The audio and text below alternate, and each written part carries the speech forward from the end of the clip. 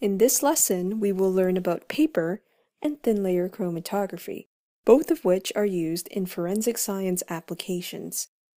Chromatography is a separation technique, and this will be demonstrated using food coloring.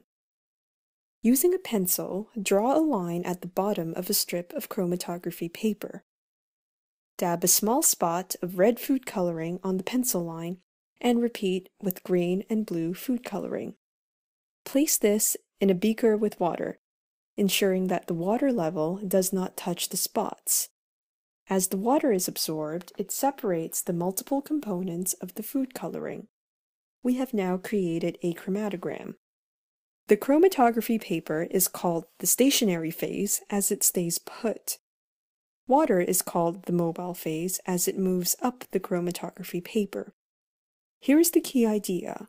A component that is more soluble in water travels a greater distance up the chromatography paper, and a less soluble component travels a shorter distance.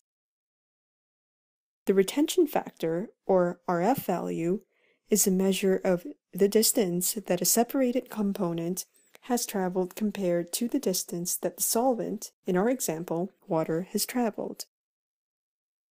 These distances can be measured using a ruler. What does the retention factor value tell you about the solubility of a separated component in the mobile phase solvent? Please pause the video to think about this and resume when you are done.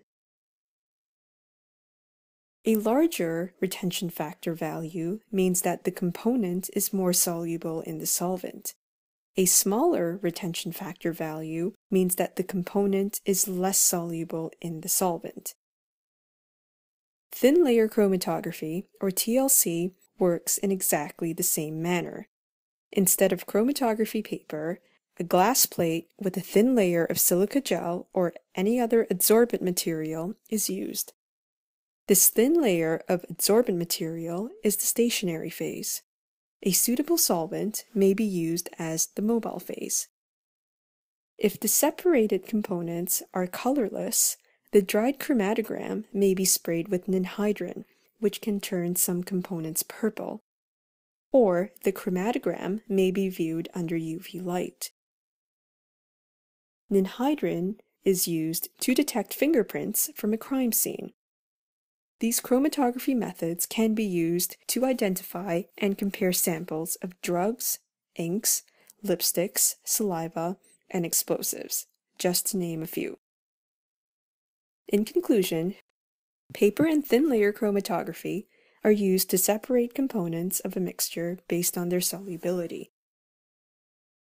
The relative solubility of the separated components can be determined by calculating their retention factor values. More soluble components have a larger retention factor value, and less soluble components have a smaller retention factor value.